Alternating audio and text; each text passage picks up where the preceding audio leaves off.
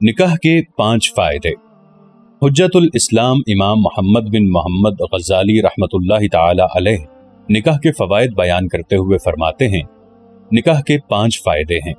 Number एक, औलाद हासिल होना। नंबर दो, शहवत टूटना यानी कम होना। नंबर तीन, घर के मामलात को चलाना। नंबर चार, खानदान में इजाफा होना। और नंबर पाँच, औरतों, बीवियों के साथ रहने के ज़रिए मुजाहिदा नफ्स करना।